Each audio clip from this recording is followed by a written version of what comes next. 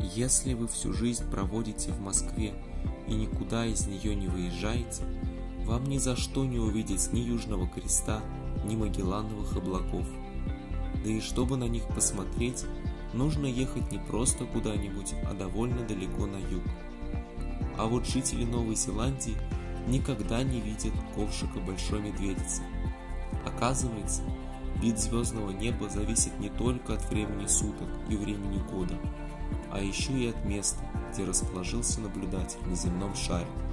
Если говорить точнее, то от его географической широты этого места. Оказывается, что на разных широтах полюс мира, вокруг которого чертят свои суточные круги светила, находится в разных местах. Астрономы уже давно сформулировали это правило в точных математических терминах. Высота полюса мира над горизонтом равна географической широте места наблюдения. Обе эти величины измеряются углами, от чего их можно сравнивать. Давайте совершим мысленное путешествие на северный полюс Земли. Какое небо мы там увидим? Желательно, конечно, попасть туда в полярную ночь, а не в полярный день, чтобы увидеть много светил. Прямо у нас над головой полярная звезда, самая высокая в любом месте точка небесной сферы, называется зенит. Ее высота 90 градусов. Там и находится сейчас полюс мира, рядом с полярной звездой. Но и наша географическая широта сейчас тоже 90 градусов. Правило выполняется. Последим за суточным движением звезд на полюсе. Они, как и везде, описывают круги вокруг северного полюса мира, которые у нас сейчас находятся в зените. Значит, эти круги все параллельны горизонту, ни одно светило не заходит и ни одно не восходит. Понятия Востока и Запада в этой точке мира бессмысленны. Какое бы направление мы ни выбрали, это будет на юг. Воображаемый житель Северного полюса видел бы всегда одни и те же звезды северного полушария неба, а все звезды южного полушария были бы недоступны его наблюдению. Теперь двинемся на юг и будем следить за тем, как изменяется вид звездного неба. Спустившись в средние широты, мы заметим, что полярная покинула зенитную область, хотя и стоит еще довольно высоко.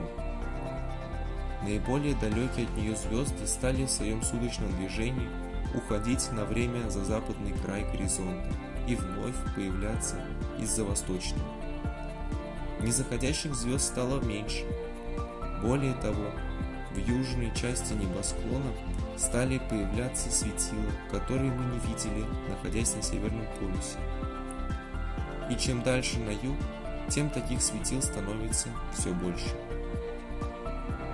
Наконец, достигнув экватора, мы обнаруживаем полярную звезду уже на самом горизонте.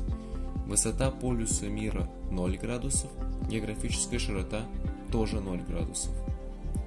Все небо усеяно звездами, текущими с востока на запад, и нет ни одной из них, которая бы за время не, на время не опускалась под горизонт.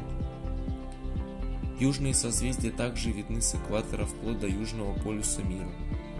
Нет такой звезды на небесной сфере, которую принципиально нельзя было бы пронаблюдать с земного экватора. Значит, житель экватора может видеть в два раза больше разных светил, чем житель полюса. Если мы продолжим наш путь к югу, картины будут меняться в обратной последовательности. Достигнув Южного полюса, это можно сделать, там сейчас работает антарктическая полярная станция Амундсен-Скотт. Мы обнаружим опять одни незаходящие звезды, описывающие суточные круги параллельно горизонту. Это уже другие звезды, звезды южного полушария неба. И движутся они не по часовой стрелке, как на Северном полюсе, а против нее. На самом деле вращение, конечно, то же самое, просто это мы теперь смотрим на него в другом направлении.